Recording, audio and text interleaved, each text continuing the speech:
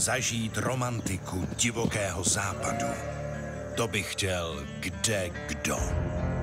Ale tváří v tvář realitě by si to většina z nich asi rychle rozmyslela.